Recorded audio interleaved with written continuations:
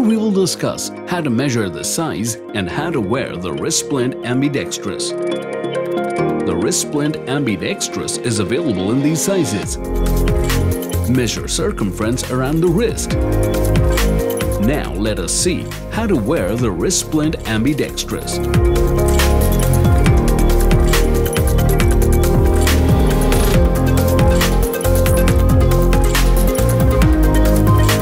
Unfasten the hook loop closures.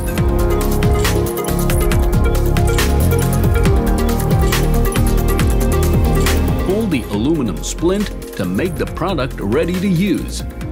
Then, match the contours of the splint to the contours of the wrist.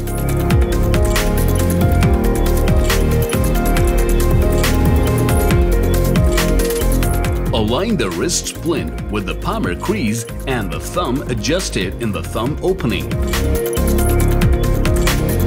Push back the splint into the pocket such that the splint comes on the palm side of the hand.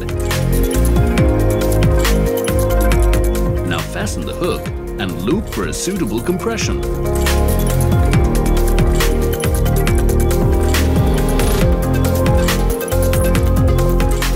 Now let us see how to remove the wrist splint ambidextrous.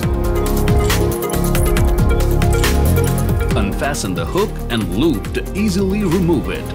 Thank you for watching. If this video was helpful, please hit the like button and subscribe to our channel. For more information, log on to www.tynorindia.com.